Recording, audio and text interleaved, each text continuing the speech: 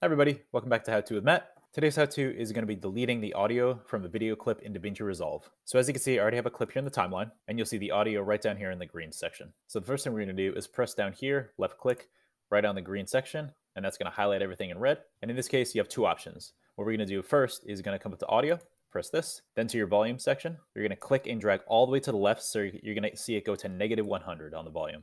And when I did that, you'll see the audio was completely removed. The other option, right on the clip itself, what you're going to do is come right here. You're going to see those up and down arrows pop up right here. Then I'm going to press, drag all the way to the bottom, and that's going to completely remove the audio as well. And that right there was how to delete the audio from a video clip in DaVinci Resolve. If you enjoyed this video, make sure to subscribe, give it a like, comment below with any questions. Also make sure to check out my DaVinci Resolve tutorial playlist to see many more DaVinci Resolve videos. Thanks again so much for watching, and I'll see you in the next one.